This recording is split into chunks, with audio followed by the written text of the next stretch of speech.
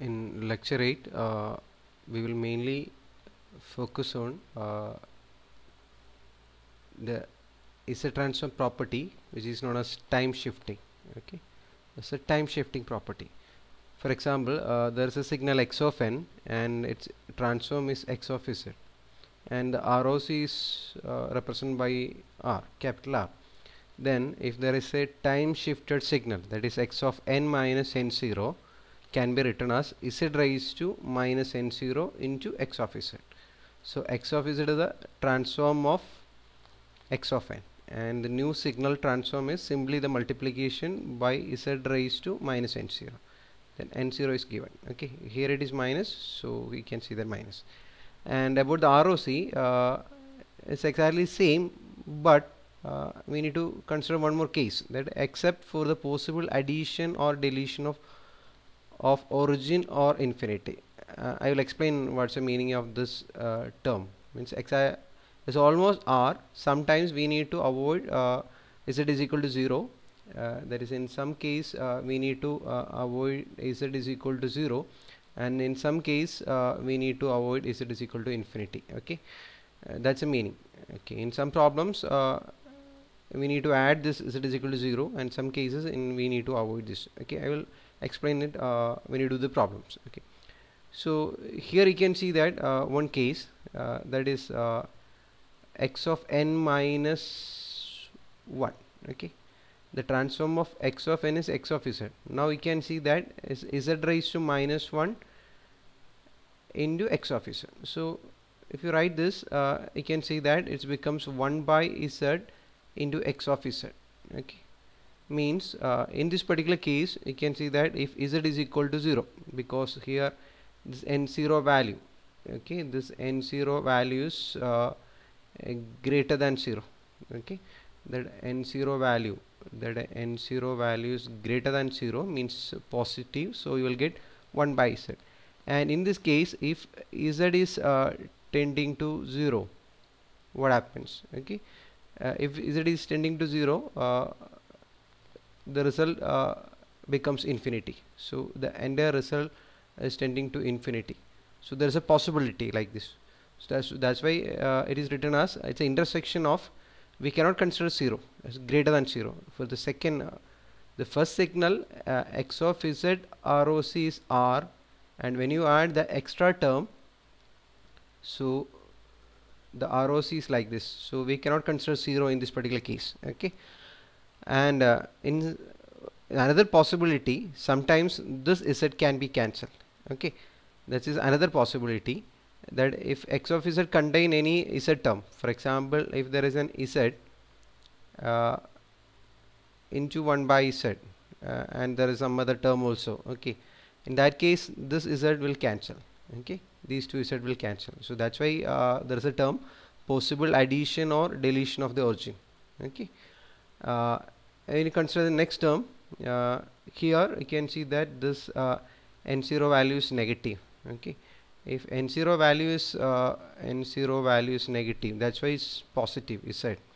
Means uh, the new term is z into x of z okay? Here z is equal to 1 z raised to 1 so here if z is tending to infinity if z is tending to infinity the entire term goes to infinity. So we cannot consider z is equal to infinity. So that's why it's mentioned as is not equal to infinity. It's less than infinity okay? Here you can see that it's less than infinity we need to consider. Here you can see that is greater than 0 not greater than or equal to because we cannot consider z is equal to 0 here we cannot consider z is equal to infinity okay?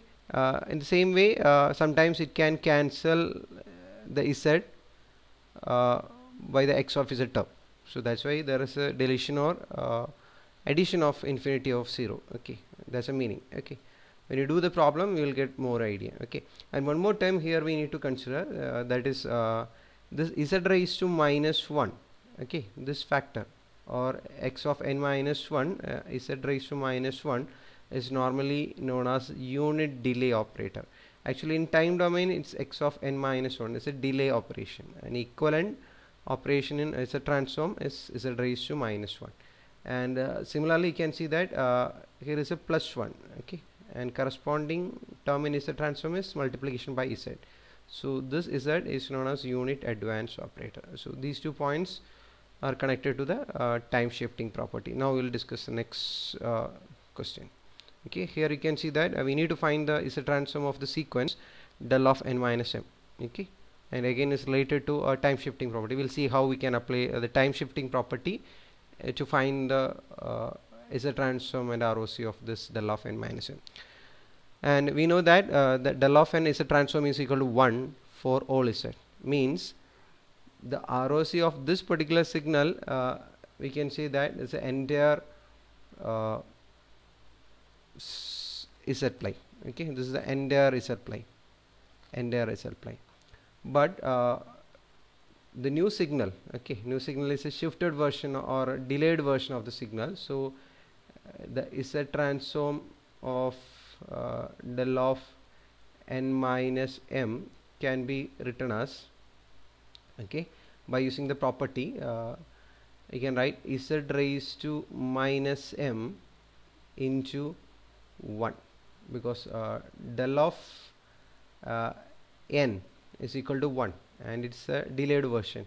So del of n minus 1 so x of n minus n0 similarly del of n minus m so you need to write z raised to minus m into 1 and you can see that uh, here we need to consider one possibility. If uh, m is uh, greater than 0 if m is greater than 0 this term becomes uh, you can see that uh, the x of z becomes uh, 1 by z raised to m because m is positive so here you can see that uh, if z is tending to 0 okay the result x of z is going to infinity. So we cannot consider z is equal to 0 so in the first case uh, you can see that for the case del of n it's entire z plane there is no restriction. But if you perform del of n minus m you will get a time z to minus m. And if m is greater than 0 it becomes 1 by z to m and uh, by analyzing this you can see that if z is tending to 0 this x of z is tending to infinity. So we cannot consider this possibility. So we need to avoid 0 in this particular limit. So I can write uh, the ROC ROC of this particular case that is m is greater than 0 and ROC I can say that we cannot consider 0 because 0 modulus of z greater than 0 so you can consider all is z except at 0 that's why we are not writing equal to. It's only greater than greater than 0 okay? Not equal to. Okay? That's one case. If m is greater than 0 another possibility if m is less than 0 if m is less than 0 you can write x of z like this. Uh, it becomes uh, this m is uh, less than 0 it becomes plus. Okay because m value is negative so minus into minus it becomes plus. Uh, so you can see that in this case if z is tending to infinity uh, the result x of z is going to infinity. So we cannot consider this possibility. Uh, in the first case uh, del of n is for all value of z but in this plane we need to avoid z is equal to infinity. So I can say that ROC of this particular signal ROC we can consider entire is a plane uh, but it should be less than infinity. So modulus of z should be less than infinity not equal to infinity. So uh, this is about the del of n minus n. Now we'll see the next question.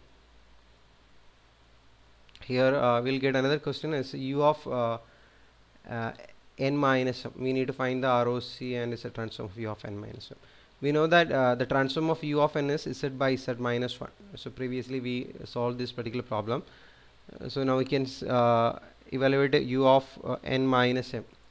So based on the this result if you know u of n you can calculate uh, u of n minus something. So is the transform of u of n minus m can be written as okay z raised to minus m into x of z. In place of x of z we need to substitute z by z minus 1 okay. Uh, u of n we can consider as x of n. Okay. So now is x of n minus n0 uh, x of uh, n minus m. Okay. Now we can see the ROC case. So the ROC of the first signal uh, that is uh, is modulus of z greater than 1 so if we need to consider one pole at one and we need to consider a circle and the ROC is uh, greater than the circle. Okay? This is the possibility. Okay? First case. And now uh, we are multiplying with another factor uh, which z is raised to minus m. Okay? And if uh, in two cases we can consider. For example if uh, m is positive. If m is positive uh, you can say that is uh, 1 by z raised to m okay? It becomes uh, 1 by z raised to m into z by z minus 1 so here you can see that uh, if z is equal to 0 the results going to infinity.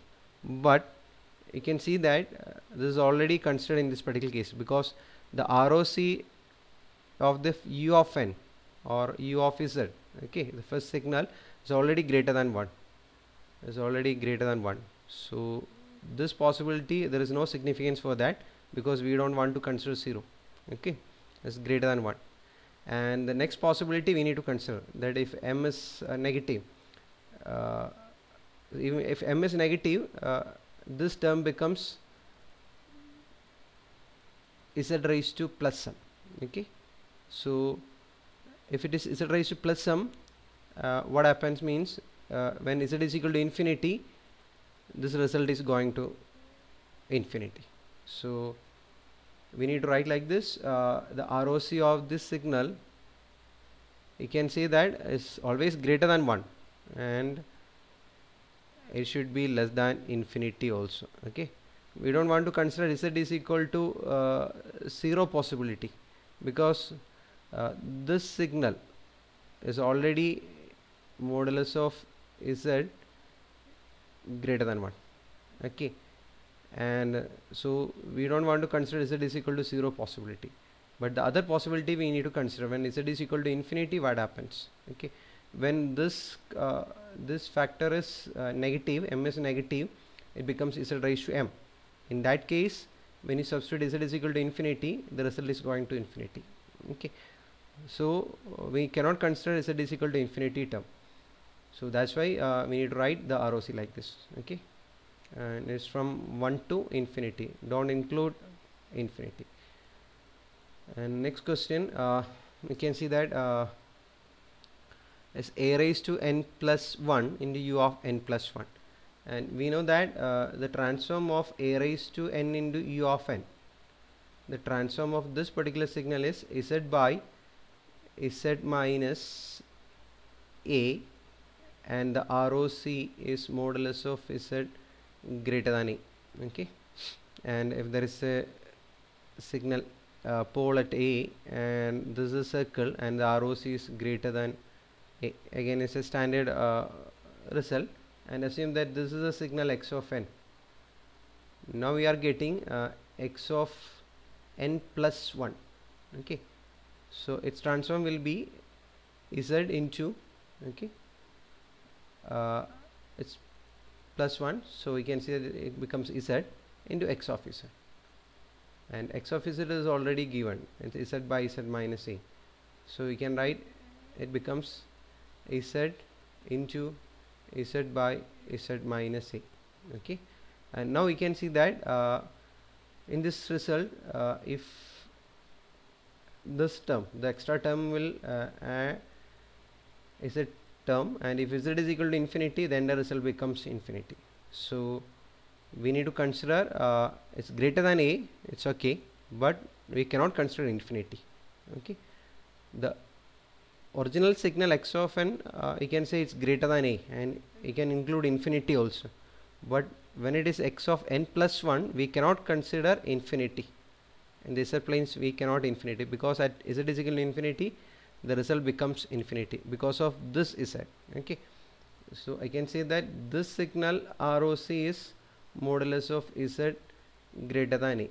But uh, we cannot consider z is equal to infinity. We cannot consider z is equal to can't okay?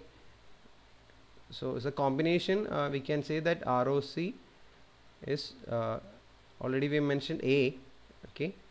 Modulus of A greater than modulus of A and less than infinity. So this is the ROC of this particular signal okay? And uh, next uh, we'll give you uh, give you two questions. So this is question number one. Uh, again we need to apply uh, the basic time shifting property in this particular question del of n minus 3 and you need to apply one more property is the linearity property. So a combination of two signal. Again the second signal uh, uh, x of n uh, is given which is minus u of minus n minus 1 this is an anti-causal signal. And uh, we need to find the transform of y of n. Y of n is actually x of n minus 1 by using the time shifting property we need to find. And we will uh, give the solution in the next lecture. Thank you